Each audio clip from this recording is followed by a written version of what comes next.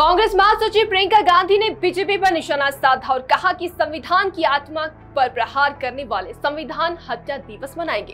कांग्रेस महासचिव प्रियंका गांधी ने शनिवार, यानी कि आज भाजपा पर तीखा हमला किया। उन्होंने कहा कि कोई अचरज की बात नहीं कि जिन लोगों ने संविधान का विरोध किया और इसे खत्म करने की मांग करते हैं, वे संविधान हत्या दिवस मनाने की नकारात्मक राजनीति में लिप्त है। प्रियंका गांधी ने यह टिप्पणी केंद्र की मोदी सरकार ने 25 जून को संविधान हत्या दिवस मनाने के ऐलान करने के एक दिन बाद यानी कि आज की है। केंद्रीय गृह मंत्री अमित शाह ने शुक्रवार को घोषणा करते हुए कहा था कि केंद्र सरकार ने 25 जून को संविधान हत्या दिवस के रूप में मनाने का फैसला किया है। 25 जून 1975 में आपातकाल की घोषणा की गई थी। इस दिन उन लोगों के बड़े योगदान को याद किया जाएगा जिन्होंने उस दौरान अमानवीय पीड़ा सहन की थी। प्रियंका गांधी ने भाजपा पर हमला करते हुए एक्स पर कहा भारत की महान जनता ने ऐतिहासिक लड़ाई लड़कर अपनी आज़ादी और अपना संविधान हासिल किया है। जिन्होंने संविधान को बनाया, जिनकी संविधान में आस्था है, वे ही संविधान की रक्षा करेंगे। उन्होंने आगे कहा, जिन्होंने संविधान लागू होने का विरोध किया।